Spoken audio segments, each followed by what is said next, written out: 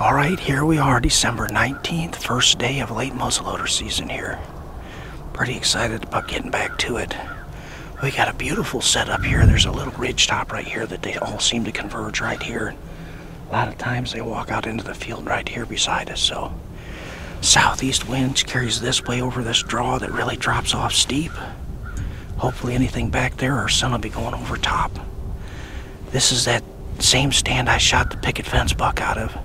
And we had two good encounters here last year. The bearcat buck that I passed. And then the buck we're after tonight, this nice eight, kind of a nice wraparound eight with a couple little kickers on his right. So he's probably a scoreable 10. But at any rate, he's a nice buck. He'd be a sweet one to get. I've got the bow with me. They, they allow you to bow hunt during late muzzleloader season, so that's what we're doing.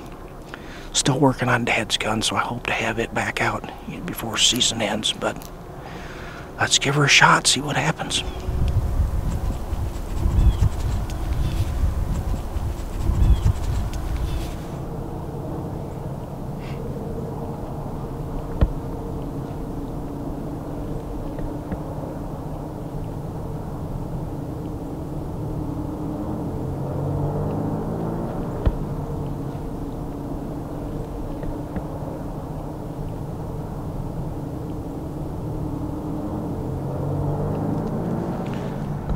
I don't believe that deer's gonna make winter. He don't look good. Looks real thin. I don't know what the heck's wrong with him, but does not look good.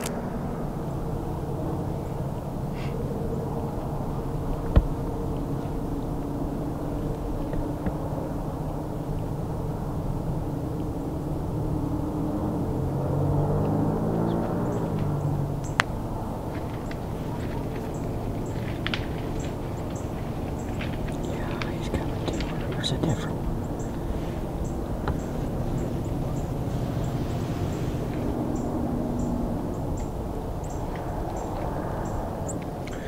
Well, guys, we're down to about 10 minutes.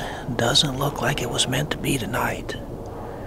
Our eight we were after was a no-show. We did end up seeing one decent buck that looked like he's starving to death. I don't know what's wrong with him, but there was that buck, and there's a few does out in that corn now. But outside of that, it's been a little slow.